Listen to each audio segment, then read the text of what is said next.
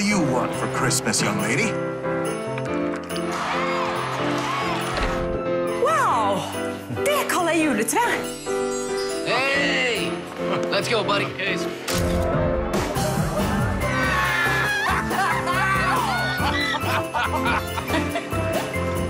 We only spend Christmas together. Oh, here's the good reasons. Merry Christmas.